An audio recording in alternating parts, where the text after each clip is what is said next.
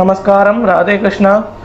ராமானுஜ தயாபாத்திரம் ஞான வைராகிய பூஷணம் ஸ்ரீமத் வெங்கடநாதாரியம் வந்தே வேதாந்த தேசிகம் லக்ஷ்மீநாத சமாரம்பாம் நாதே ஆமுணமத்தியமாம் அஸ்மத ஆச்சாரிய பரியந்தாம் வந்தே குரு பரம்பராம் யோனிச்சமத்துதபதாம் புஜே உக்ம ருக்ம வியாமோஹதஸ்ததிதராணி திருநாய மேனே அஸ்மத் குரோர் பகவதோசி தயேக சிந்தோ ராமானுஜஸ்ய சரணம் சரணம் பிரபத்தே ஜெய் ஸ்ரீராம் நமஸ்காரம். நம்ம ஆண்டாள் நாச்சியாருடைய சரித்திரமும் அவளுடைய வாக்குவைபவத்தையும் கொண்டாடிருக்கோம் இப்போது அவளை பற்றி அவள் மேலேயே எழுதி சமர்ப்பணம் செய்த நிறைய பாசுரங்களும் ஸ்லோகங்களும் இருக்கிறது. அந்த ஸ்லோகங்கள் எல்லாம் சிறந்த ஸ்லோகமான திருமலை அனந்தாழ்வார் எழுதி சமர்ப்பணம் செய்த ஸ்ரீ கோதா சதுஸ்லோகி அந்த நான்கு ஸ்லோகங்களையும் அடியன் சுருக்கமாக விண்ணப்பம் செய்கிறேன். அகிலாத்ம குணாவாசம் அக்ஞான தீராபகம் ஆஸ்ரிதானாம் சுசரணம். வந்தே அனந்தாரிய தேசிகம். ஸ்ரீமத் ராமானுஜாச்சாரிய ஸ்ரீபாதம். போரத்வயம். சதுத்தமாங்க சந்தாரியம். அனந்தாரிய மகம்பஜே திருமலை அனந்தாழ்வார் யாருன்னு பார்த்தோம்னா நம்மளுடைய ராமானுஜ ஆச்சாரியாருடைய சிஷ்யன் திருமலை அனந்தாழ்வார். யாரான ஒருத்தர் திருமலையில் போய் பெருமாளுக்கு கைங்கரியம் செய்யணும் அப்படின்ட்டு ராமானுஜ ஆச்சாரியார் விருப்பப்படுறா ஆனால் யாருமே போகிறதுக்கு இஷ்டம் இல்லை ஏன்னா திருமலையில் அதிகபட்சமான குளிர் அந்த குளிரை கட்டுப்பட்டுன்னு அங்கே இருக்க முடியாது அப்படின்னு சொல்லிட்டு யாருமே போகிறது இஷ்டப்படலை. அப்போ திருமலை அனந்தாழ்வார் நான் செல்கிறேன் அப்படின்ட்டு ராமானுஜாச்சாரியர்கிட்ட விடை பெற்றுண்டு நேராக திருமலைக்கு புறப்பட்டார் பெரியாழ்வார் எப்படி நந்தவனம் நந்தவனம் அமைச்சு வடபத்திர சாய்க்கு நித்தியபடி மாலை கைங்கரியம் செய்தாரோ அதே மாதிரி திருமலை அனந்தாழ்வாரும் திருவேங்கடத்தில் நந்தவனம் அமைச்சு பெருமாளுக்கு நித்தியபடி மாலை கைங்கரியம் செய்தார். ஆண்டாளாச்சார் என்ன பண்ணுறா அப்படின்னா திருவேங்கடமுடியானுக்கு மேகங்களையே தூதாக அனுப்புகிறாள். அவளுடைய காதல் அன்பை தெரிவிக்கும் விதமாக திருவேங்கடமுடியானுக்கு மேகங்களை தூதாக அனுப்புகிறாள். அவள் காதல் வைத்திருந்த அதே திருவேங்கடமுடியானுக்கு திருமலை அனந்தாழ்வாரும் மாலை கைங்கரியம் செய்தார். அந்த பெருமாளுக்கு திருமலை அனந்தாழ்வாரும் கைங்கரியம் செய்தார். பேர்பட்ட திருமலை அனந்தாழ்வார் ஒரு முறை ஸ்ரீவல்லிபுத்தூர் வந்து தாயாரை சேவிக்கணும்னு ஆசை. ஸ்ரீவல்லிபுத்தூர் வரார். வர சமயத்தில் தாயாரை சேவிக்கிறதுக்கு முன்னாடி ஸ்நானம் பண்ணணும் அப்படின்றதுக்காக திருமுக்குளத்தில் போய் ஸ்நானம் பண்ணுறதுக்காக போகிறார் அந்த திருமுக்குளத்தில் என்ன விசேஷம் அப்படின்னா ஆண்டாள் நாச்சியாரும் அவளுடைய தோழிகளும் அந்த திருமுக்குளத்தில் தான் நீராட்டம் கண்டனர். ஆண்டாள் நாச்சியார் பாவை நோன்பு இருக்கிற சமயத்தில் காலங்காத்தால் நீராட்டம் காண்பதற்காக திருமுக்குளத்துக்கு போவா. தன்னுடைய தோழிகள் எல்லாம் அழைச்சிட்டு போவா. தன்னுடைய தோழிகள் எல்லாரையும் கோபிகைகளாகவே பாவிச்சுண்டு அந்த தோழிகளோட நீராட்டம் காண்பதற்காக போவாள் ஆண்டாள் நாச்சியார். இப்போ திருமலை அனந்தாழ்வாரும் அதே திருமுக்குளத்தில் ஸ்நானம் பண்ணுறதுக்காக போகிறார் ஸ்நானம் பண்ணிட்டார். ஆனால் திருப்பி திருப்பி உள்ளே உள்ளே போய் என்னவோ தேடிகிட்டே இருக்கார். ரொம்ப நாள் யாராவது தேடிகிட்டே இருக்கார். பக்கத்தில் இருக்கவெல்லாம் பார்க்குறார். சுவாமி நீங்கள் என்ன தேடுறீல் நீங்கள் சொன்னேன்ல நாங்களும் கூட சேர்ந்து தேடுவோம் இல்லையா? அப்படின்னு கேட்குறார். அப்போது திருமலை அனந்தாழ்வார் சொல்கிறார் இல்லை ஆண்டாள் நாச்சியாரும் அவருடைய தோழிகளும் இந்த திருமுக்குளத்தில் தான் நீராட்டம் கண்டிருப்பார். ஆண்டாள் நாச்சியார் மஞ்சள் பயன்படுத்தியிருப்பா. அந்த மஞ்சள் கிழங்கு இங்கே எங்கேயான கிடைக்காதா? அது ஆண்டாள் நாச்சியாருடைய வரப்பிரசாரமாகவே ஸ்வீகரிக்க முடியாதான்னு பார்க்குறேன்னு திருமலை அனந்தாழ்வார் சாதிக்கிறார். அப்போது அவருடைய பக்தியை பாருங்கோ ஆண்டாள் வாழ்ந்த காலமோ வேற இவர் வாழ்ந்த காலமோ வேற. இருந்தாலும் மஞ்ச கிழங்கு தேடுறாரே இது அஜ்ஞானம் இல்லையான்னு நீங்கள் எல்லாம் கேட்பேன். ஆனால் இந்த அஜ்ஞானம் எதனால் உருவானதுன்னு பார்த்தோம்னா ஆண்டாள் நாச்சியார் மேலே திருமண இழந்தாழ்வார் வைத்திருக்கும் அடற்பரியா பக்தி. அப்போது அந்த பக்தியில் உயர்ந்து அதனால் ஏற்படக்கூடிய இந்த அஜ்ஞானம் ஞானமாகவே கருதப்படும். அப்பேற்பட்ட திருமலை அனந்தாழ்வார் ஆண்டாள் நாச்சியார் மேலே நான்கு ஸ்லோகங்கள் ஸ்ரீ கோதா சதுஸ்லோகி அப்படின்ட்டு சாதிச்சிருக்கார். இந்த ஸ்லோகங்கள் எல்லாம் எப்படி இருக்குது அப்படின்னா நமக்கும் தாயாருக்கும் இருக்கக்கூடிய உறவு தாயாருக்கும் பெருமாளுக்கும் இருக்கக்கூடிய உறவு. நமக்கும் தாயாருக்கும் என்ன உறவு அப்படின்னு பார்த்தோம்னா இப்போ நம்ம ஏதாவது தப்பு பண்ணுறோம் அப்படின்னா தாயார் தான் நம்மக்கிட்ட வந்து முதல்ல பேசுவாள் இதைதான் இதுதான் உனக்கு பெருமாள் சொல்லி கொடுத்தாரா? வேதங்கள் எல்லாம் இதுதான் உனக்கு சொல்லி கொடுத்ததா அப்படின்ட்டு நம்மளை முதல்ல திருத்திட்டோ நமக்காக ரெக்கமெண்டேஷன் பேசுகிற ஒரே ஆள் யாருன்னு பார்த்தோம்னா அது தாயார் தான். நமக்காக நேராக பெருமாள் கிட்ட போவா. பெருமாளே தெரியாமல் நம்ம குழந்தைகள் இந்த மாதிரி தப்பு பண்ணிட்டா நான் அவளை சொல்லி திருத்திட்டேன். நீங்கள் அவளுக்கு தண்டனை தராதே அப்படின்ட்டு நமக்காக பேசுகிறக்கூடிய ஒரே ஜீவன் யாருன்னு பார்த்தோம்னா அது தாயார் தான். இதை அழகாக விவரித்து திருமண இழந்தாழ்வார் கோதா சதுஸ்லோகியில் எழுதியிருக்கார். அது நம்ம ஒவ்வொரு ஸ்லோகமாக பார்க்கலாம். முதல்ல தனியன் சேவிச்சுட்டு ஸ்லோகங்களுக்குள்ளே போகலாம். தனியன் சக்கரே கோதா சதுஸ்லோகிம் யோ வேதார்த்த பிரகற்பிதம் ஸ்ரீ வெங்கடேஷ சத்பக்தம் தம் அனந்த குரும் பஜே. இந்த வேதத்துடைய சாராம்சங்கள் எல்லாம் கொண்ட இந்த கோதா சதுஸ்லோகி இந்த ஸ்லோகத்தை யார் சமர்ப்பணம் செய்தாரோ திருமலை திருவேங்கடமுடையானுக்கு யார் கைங்கரியம் செய்து கொண்டு வந்தாரோ திருமலை திருவேங்கடமுடையானுக்கு யார் அடியவராகவே வாழ்ந்தாரோ அவரை நான் வணங்குகிறேன். அப்படின்ட்டு தனியன் சாதிக்கிறது.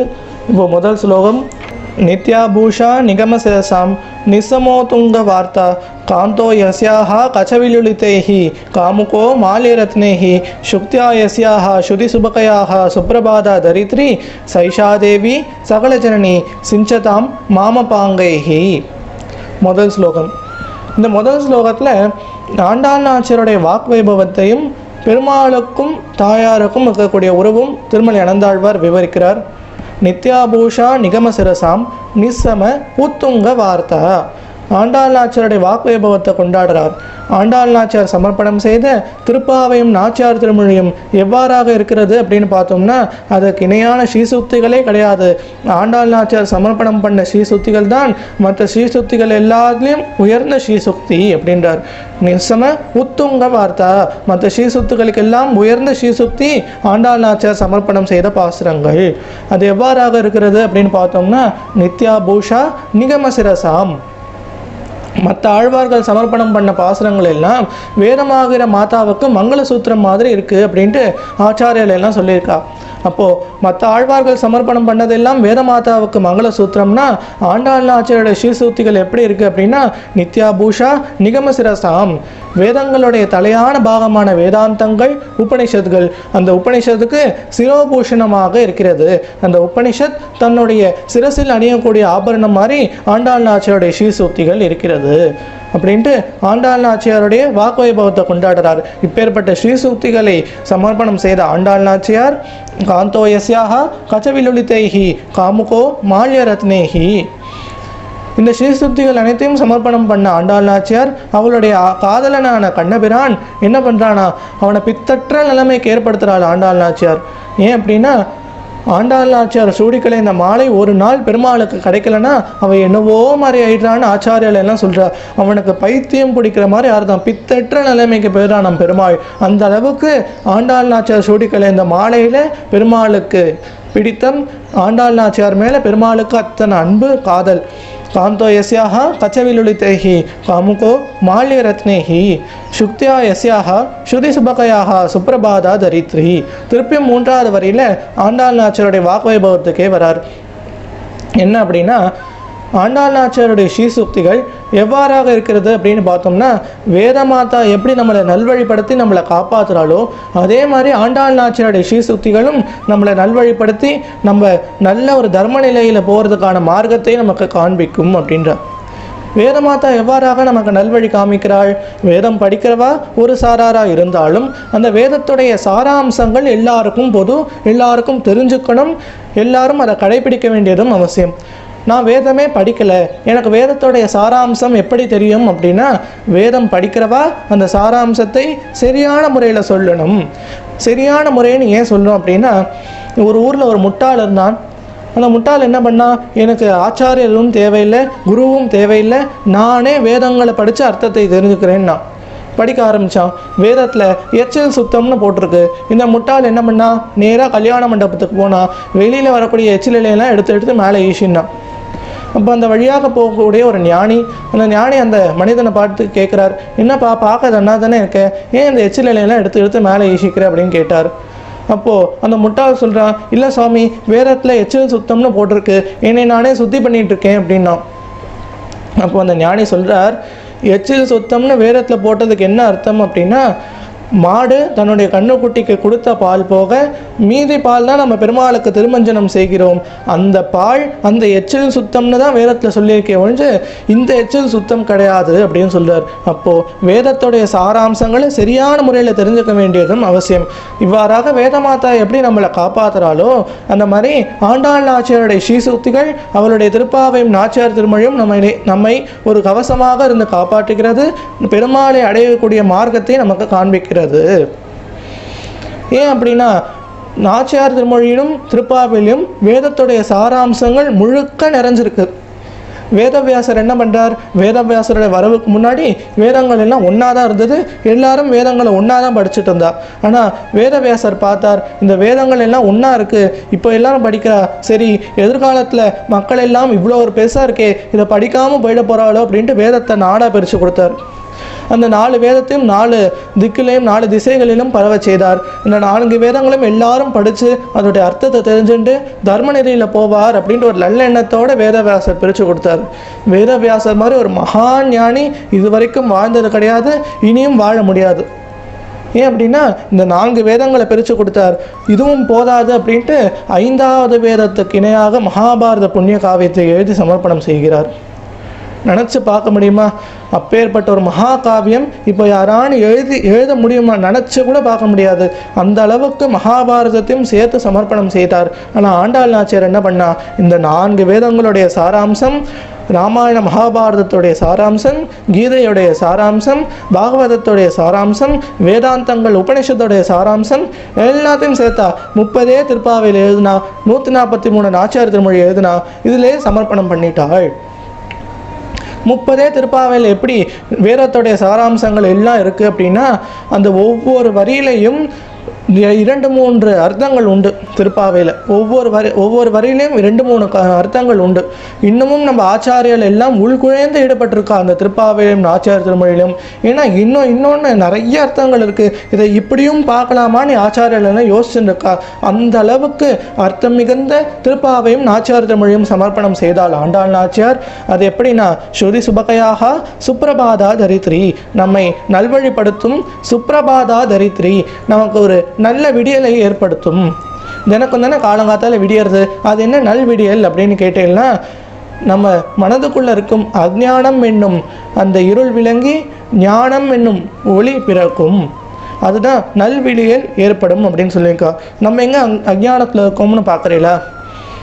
நம்மளால் காலங்காத்தால் எழுந்துக்கிறோம். தொலைக்காட்சி கைபேசி எதுவும் இல்லாமல் இருக்க முடியல. இன்டர்நெட்டு ஃபேஸ்புக் சோஷியல் மீடியா எதுவும் இல்லாமல் இருக்க முடியல. இதெல்லாம் ஆடம்பரம் தானே. நம்ம பெருமாளை நினைக்காத இருக்கக்கூடிய ஒவ்வொரு க்ஷணமும் நம்ம வாழ்க்கையில் இழந்துட்டு இருக்கோம்ன்றதை உணராம தானே இருக்கும். அப்போ இதெல்லாம் அஜ்ஞானம் தானே. இந்த அஜ்ஞானத்தை எல்லாம் விலக்கி ஞானம் என்னும் ஒளியை நமக்குள் ஏற்று ஏற்றும் இந்த ஆண்டாள் நாச்சியோடைய ஸ்ரீசுத்திகள் அத்தனை உயர்ந்தது இந்த ஆண்டாள் நாச்சியோட ஸ்ரீசுத்திகள் இந்த ஸ்ரீசுத்திகளை சமர்ப்பணம் செய்த அந்த தேவி சைஷா தேவி சகல ஜனனி இந்த லோகத்துக்கே தாயாக இருக்கக்கூடிய அந்த தேவி சிஞ்சதாம் மாமபாங்கைஹி. என்ன பண்ணணுமா? தன்னுடைய அருட்கடாட்சத்தாலே நம்மளை நனைந்தருளை செய்ய வேண்டும் அப்படின்றா. அவளுடைய அருட்கடாட்சம் எதுன்னு பார்த்தோம்னா அவளுடைய கடைக்கண் பார்வை. அவளுடைய கடைக்கண் பார்வை நம்ம மேலே பட்டு அவளுடைய கடாட்சத்தாலே நம்மளை நனைந்தருளை செய்ய வேண்டும் அப்படின்ட்டு முதல் பாசுரத்தில் திருமலை அனந்தாழ்வார் ஆண்டாள் நாச்சியுடைய வாக் வைபவத்தையும் பெருமாளுக்கும் தாயாருக்கும் இருக்கக்கூடிய அந்த பந்தத்தையும் விவரிக்கிறார்.